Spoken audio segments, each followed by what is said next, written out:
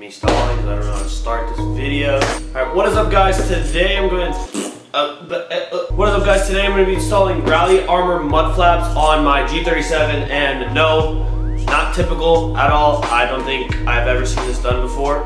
But I got these as a gift, so I thought might as well put them on. Um, worst comes to worst, if I don't like them, I can just take them off. But I mocked them up, they look pretty cool, so I thought might as well just do them since they're not costing me any money and a little nice touch. I don't know. With my wheels, offset with my wheels, they spit stuff up on the side of my car. Hopefully if these these will protect it, have some function, and uh, hopefully they'll look cool. So let's put them on. So let me show you guys what I'm talking about when I talk about the wheels spitting stuff up on the side of my car. Right here, my wheels, you can see they have a little bit of negative camber. And that camber is just enough so that when the wheel, when there's like dirt and stuff on the, that, the, the car driving, there's dirt and stuff, it spits stuff up onto the side of the car right here. And it doesn't look good. And so hopefully the mud flaps will protect it. Well, I know they'll protect it, but hopefully it'll look cool too. So, so basically what the plan is to like, I'm gonna take the mud flap, put on top of this piece of cardboard and line it up and then draw an outline with a Sharpie and then take them into, and then mock them up right there. One good thing about this is that it already has pre-existing like holes and screws and stuff right here. So I'm gonna take the wheel off front, front and back on both sides, mock them up and see if, uh, where I can line them up and to use these holes. And then I'll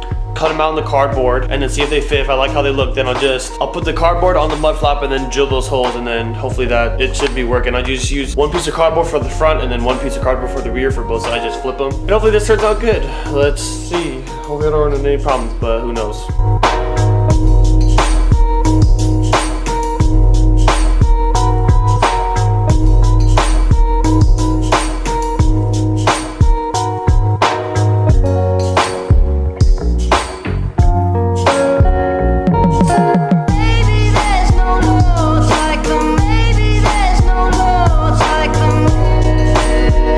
So the cutout turned pretty freaking good. Now it's just time for jack the car up, take the wheels off and mock it up and see where our holes line up.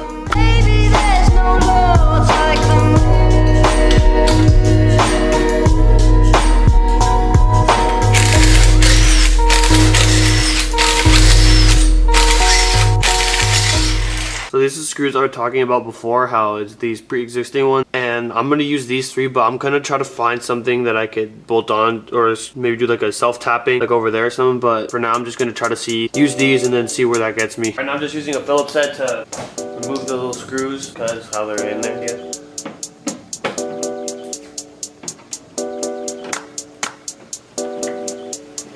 Want it hanging too low or too far out. I don't want to scrape on everything, but I don't want it like far in where it's like doesn't do anything. Now how I'm gonna find these holes is a good, it's a good freaking question. Other thing too is to make sure I don't want it to like angle out. I want it to be straight up and down. I'd say right there is pretty good. To me, it looks pretty straight.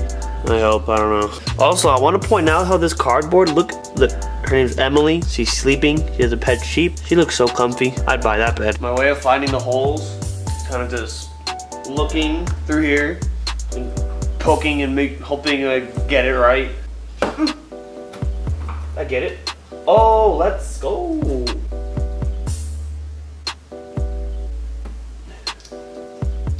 You know, I don't know if that's too little. I don't want it being crazy far out, but I don't know. Call a friend. I'm gonna call Joe and see what he thinks.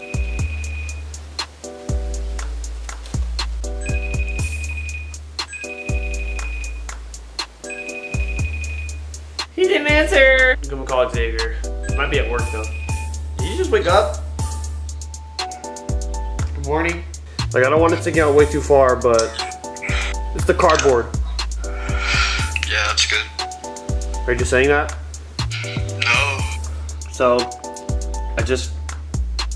What the hell? Oh, look at Emily. So I made my holes, and I made I, those two are good though. That's not a problem. But this one I kind of messed up. It was kind of like a few tries. So I'm at when I put it on the actual mud flap, I'm gonna have to guess and hope I get the hope I get the right one. We'll see. I don't know. Hey. I don't know why I took the camera off the tripod. I need to go put it back. But now, to get the Sharpie, draw out the holes, punch them, put them on the car. Emily. And the most important thing is that I line it up correctly because if I don't, then I could just kind of screw everything up.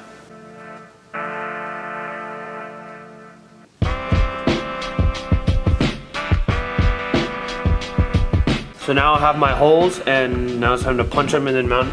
It's scary thunder.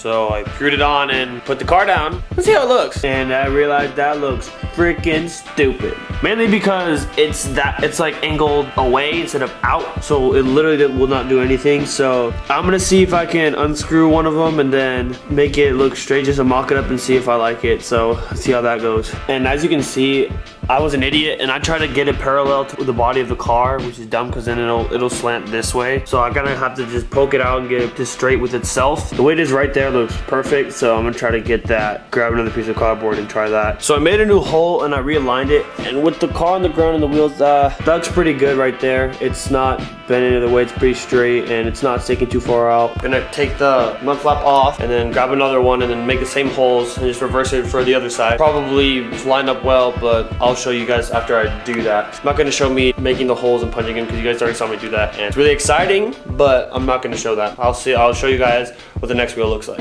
So I just finished the two front wheels. Here's the passenger side. Here's driver side. Um, uh, they look pretty good. I don't know if I wanna, I don't know if I'm like, I'm not like super stoked. I'm like, holy crap, they look so good.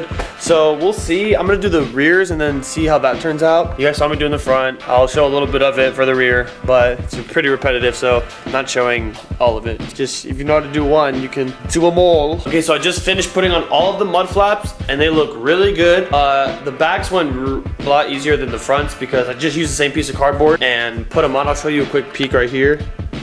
Those turned out really good. I'll show you guys what they look like outside.